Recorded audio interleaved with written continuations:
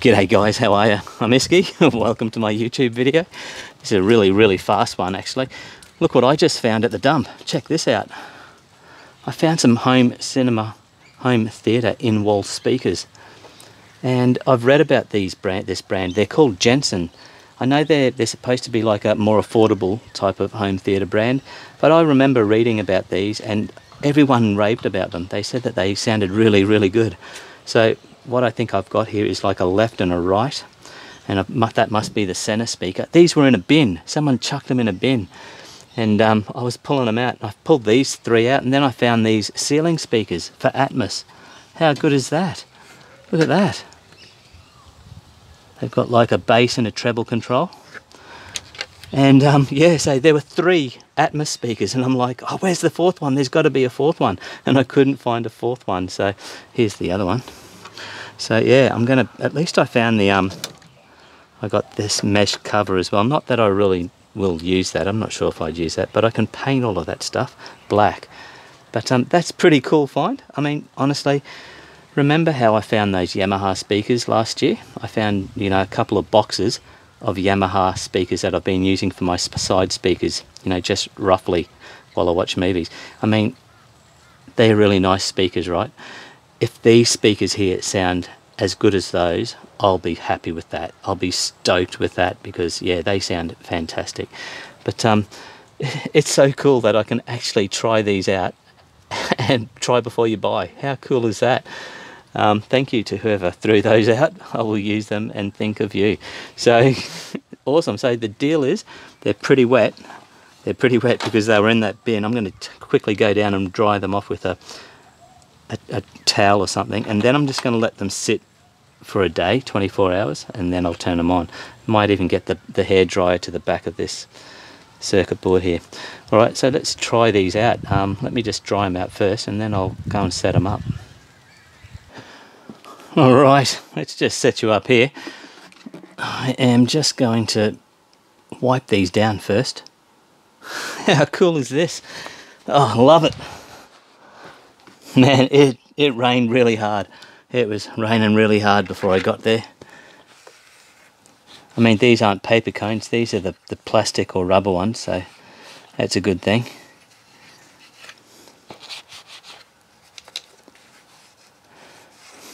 I mean, with these Atmos speakers, I really wanted the ones that angle from the ceiling.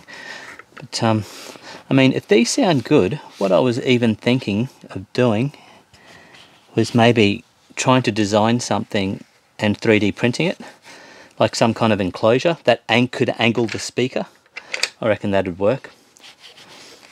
But um, yeah, that's so cool. Wonder how much all of this stuff costs. I'm to have to jump online and suss that out. I'm, I'm so dirty. I'm so hot and messy. Actually just been racing around one of the dumps that I go to. Oh man, this is a really cool score. Yeah, just, they look really nice. I'll, I'll show you in a bit. So that one is kind of that's good enough.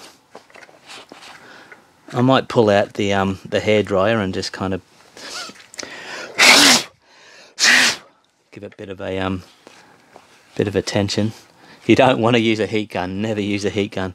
But clothes dryer, uh, not clothes dryer, a um a hair dryer um, should be fine. Yeah, I mean, geez, they're heavy. So these ceiling ones are 110 watts. It says 110 explosive home theatre EHT2. Awesome. I will be jumping on their website very soon. Like I said, I I kind of um did look at these a while ago and I was really really tempted.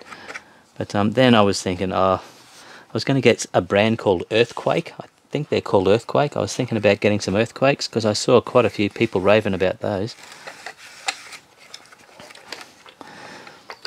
Don't know how I'm going to mount these. Yeah, like I said, I might even 3D print something to um, angle them so that they can be angled to the listening position. Oh, It's night time now. I wish it was sunny out. I wish these stickers went all fugly. 110 watts.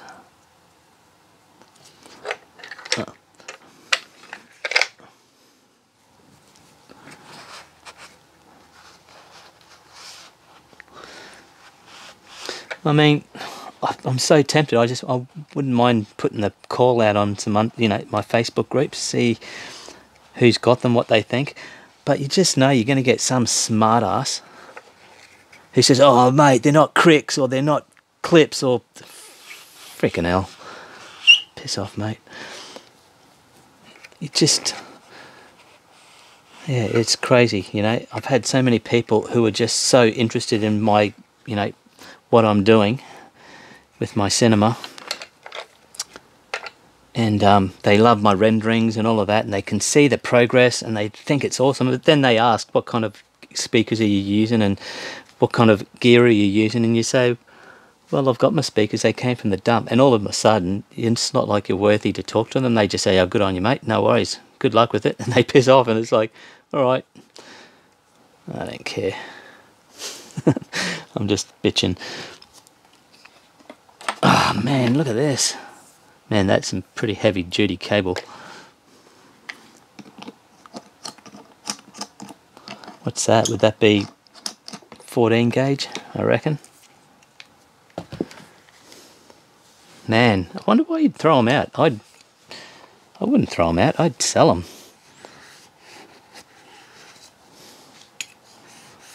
Mean, we just had some serious floods. I wonder if that had anything to do with it. There's a lot of stuff at the tip at the moment. People are just like getting rid of as much stuff as they can. Oh, maybe that's what people are doing. That's what people are doing. Actually, they're they're just writing off everything, even though it may not have been damaged, because there's so many, you know, flooding victims. They're not even sending out. Oh, look how much water's on this one. They're not even sending out insurance assessors they're just saying, just tell us what you want. Wow, this one got really wet.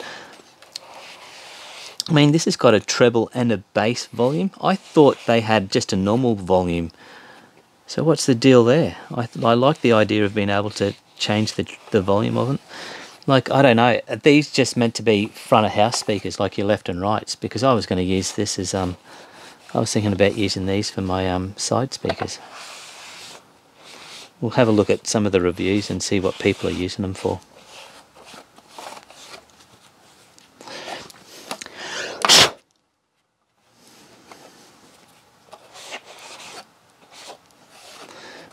if anything, at least I've got some, I can mess around with them, you know. It's, it's, it's great just playing with stuff.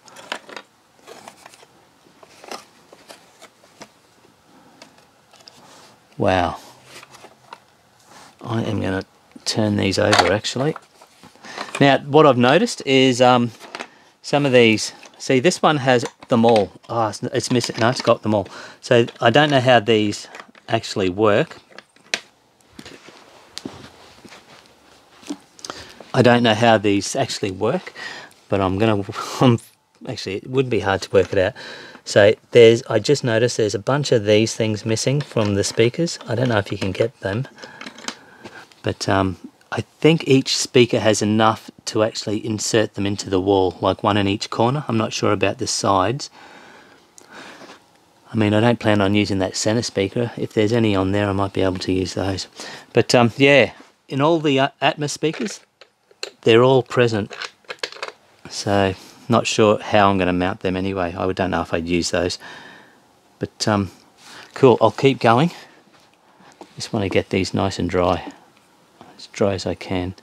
I may even put a fan on them actually. Yeah, that's what I might do. Forget about the whole, um, forget about the whole um, hairdryer. Just get a normal fan, blow some air on them.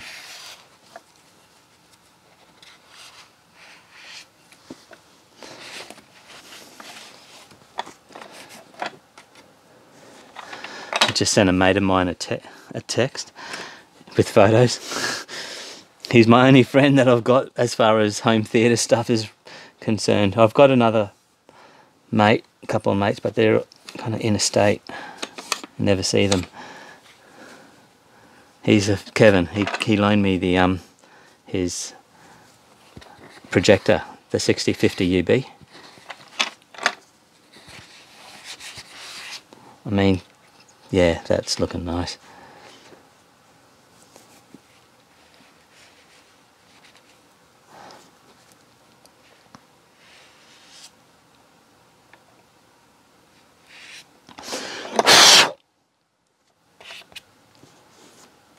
Man, I'm glad they're not paper cones. Don't they do paper cones anymore? Am I just really old or something? Because when I was a kid, they just used to all be paper.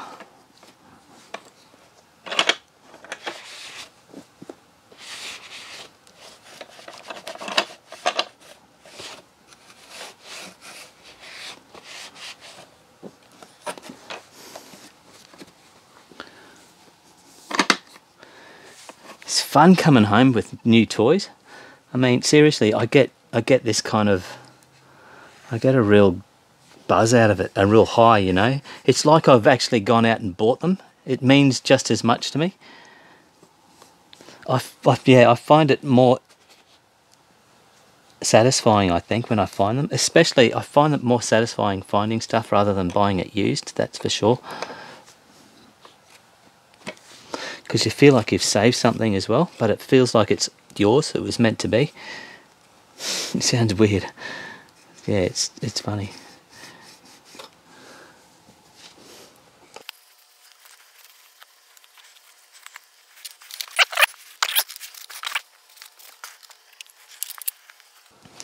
I'm just really lucky that the, none of them are busted. I mean, the bin that I pulled them out of, it was actually pretty shallow.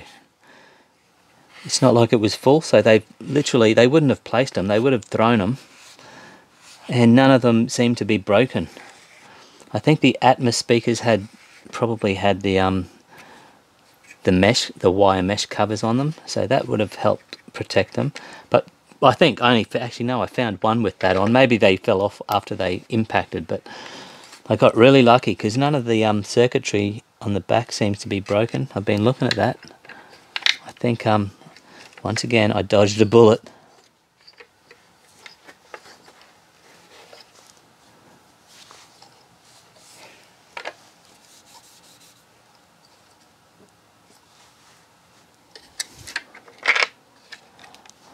Even this Atmos speaker has controls on it, a treble plus and a treble minus and a bass plus and a bass minus. That's really weird. Well, for me anyway, I don't know why. Like I've been doing research on the side speakers and they all seem to have like a 3 dB kind of volume reduction. But these don't have that. These have bass and treble.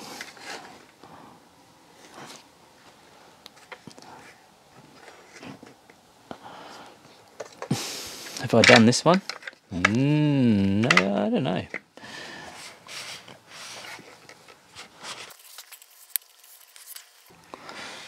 Even if I mean these are eight inch speakers, even if these speakers kind of do me over for a little while, at least I'm hoping that they just fit in the same kind of cutout whatever speakers like the I was thinking about like I said getting earthquake speakers. If these are the same kind of cutout I might just be able to use these for a while and see what they're like and use the same hole if I decide to change to earthquakes or something but I'm pretty sure those earthquakes don't have the angled speaker either. They've got angled tweeters. In fact, can you angle these tweeters? No, I don't think you can. Well, maybe you can. No, I don't think you can. I'll have to do some research on that.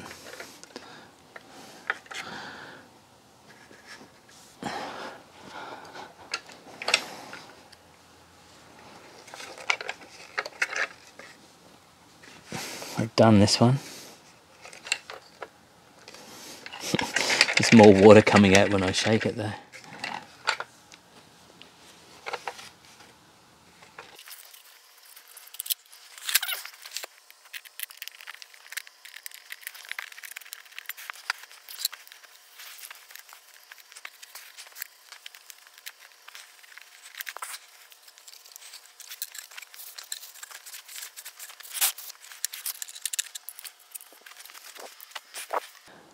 Right, there you go. My new in-wall speakers. We have two left and rights, um, and they are 140 watts, as well as that center speaker. That's 140 watts. And we have three, weirdly, I don't know why there's only three, um, Atmos speakers.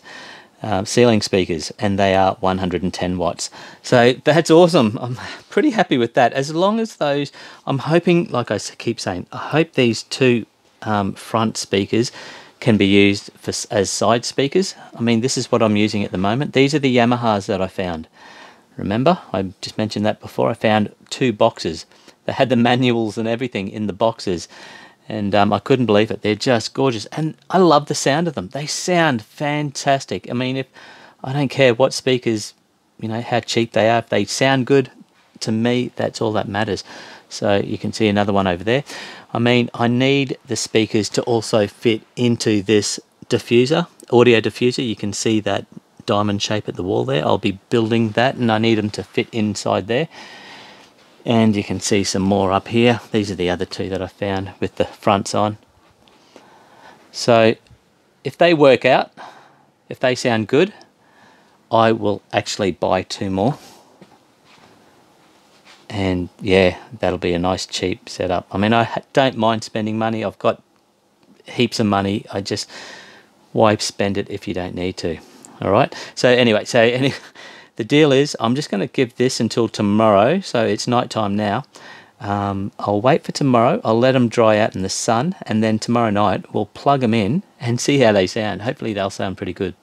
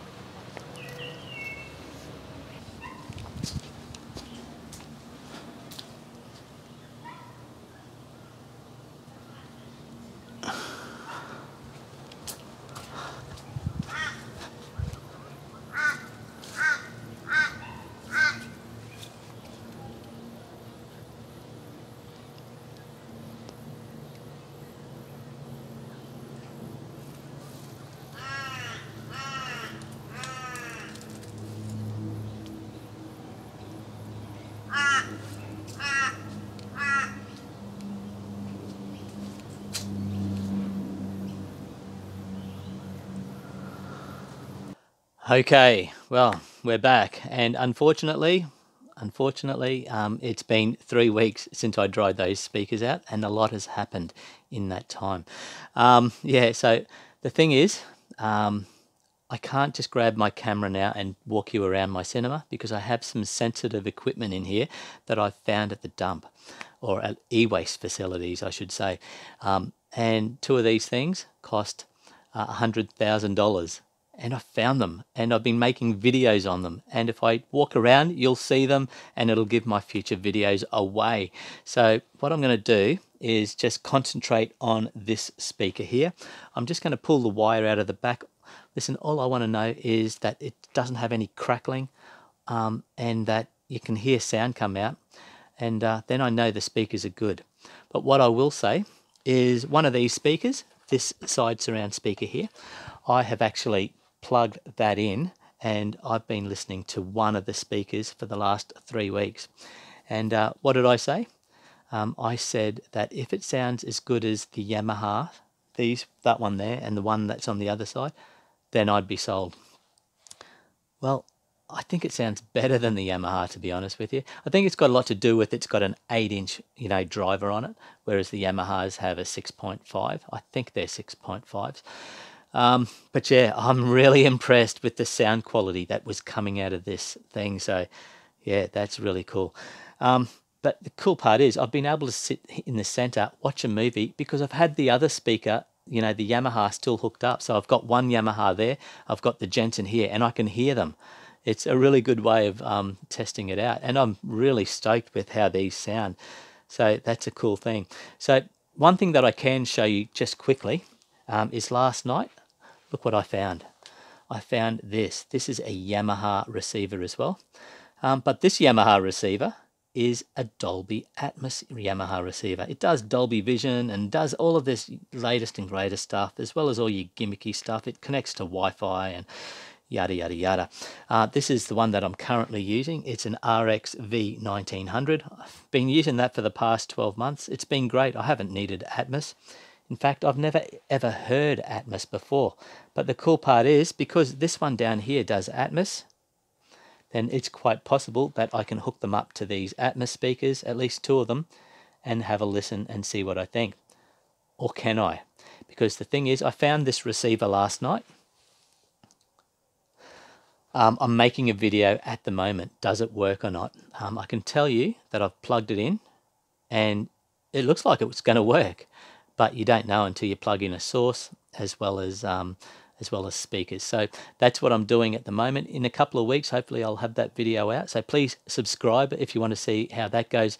And please subscribe if you want to see what these, you know, $100,000 pieces of equipment that I've got, you know, are and, and how they go. I'm making videos at the moment. It's kind of exciting. But, um, but for now, I'm just going to kind of set you up. Oh, listen, this video is going too long. I'm just going to quickly, one by one, do a speed lapse, you know, time lapse it, and just listen for sound as I um, plug it in there. I'm just going to play something on the TV and that's hooked up to this receiver and just see if I can hear these things working and then I'll come back and give you my thoughts. All right. Okay, so I'll show you what I've done. I've got my remote mouse here. That's going to um, that's connected to my HTPC in my bedroom, and this TV here um, is just going to play a picture. So this, what I'm going to play now, is just one of my videos on YouTube of me building my side section where my arcade machines are going and my equipment rack and so forth. So that's what I'm going to be playing so I don't get copyrighted for anything. But um, for now, what I might start doing is I'm just going to disconnect that speaker and just plug each of these speakers in one by one. So let's just maybe hit play here. Let's just tap this. There we go.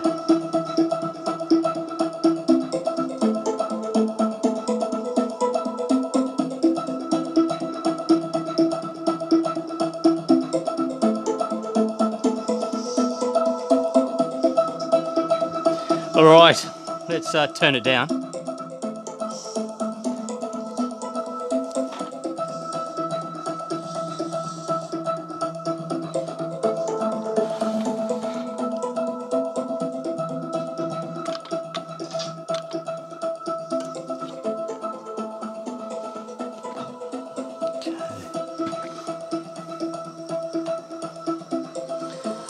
Start with this one.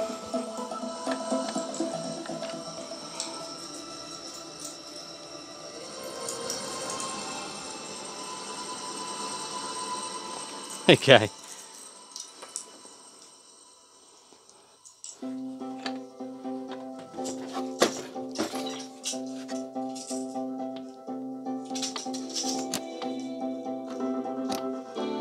Sounds good.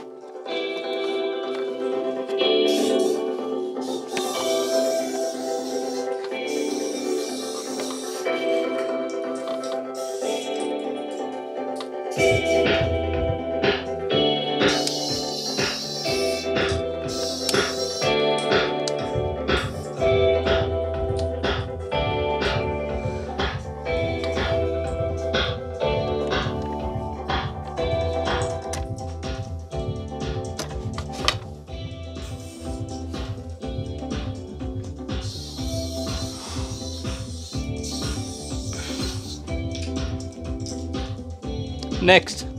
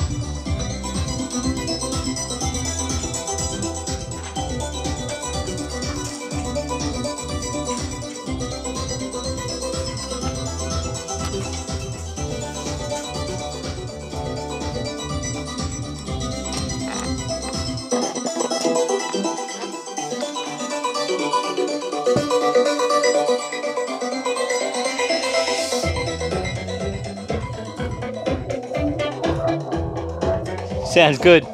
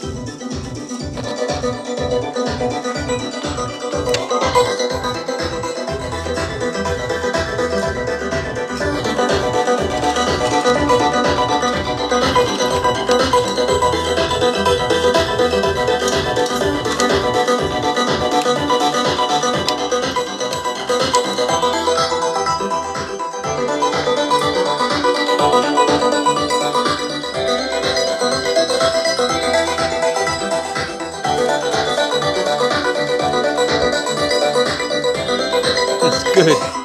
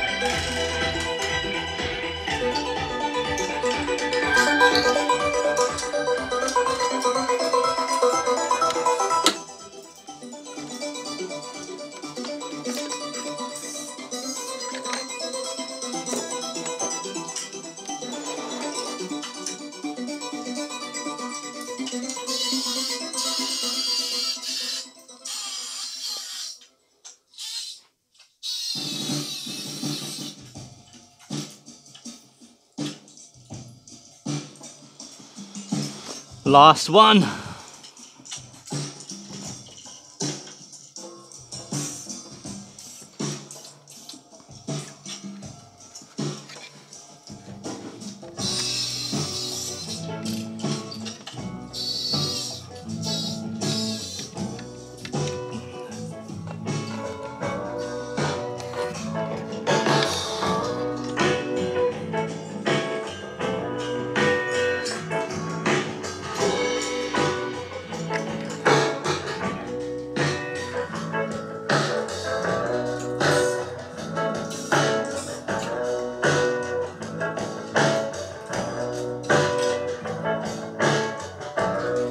Good.